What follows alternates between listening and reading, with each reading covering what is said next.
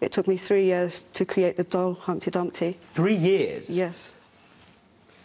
Could I see Miss Humpty, would you mind? Of course. Thank you. I'll, I'll be careful. Now, you made various art with Humpty. That's, that's right, isn't it, Geisha? Yes. Including a song. Yeah. And I think you've brought me... Good Lord.